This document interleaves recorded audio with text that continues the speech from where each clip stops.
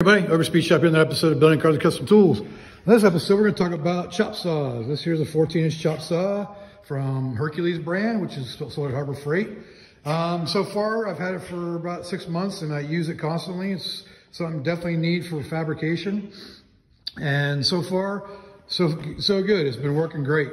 This is a 14 amp version, and like I said, it's got a 14 inch cutoff with a one inch arbor. I also bought this stand from Harbor Freight and the little cart thing down there. You have to put together to make yourself.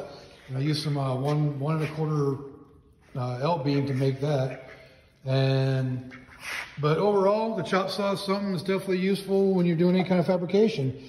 And this one's been working out good. They sell for about 180 bucks at Harbor Freight. And I'm not sure how much I paid. I might have had a coupon for mine.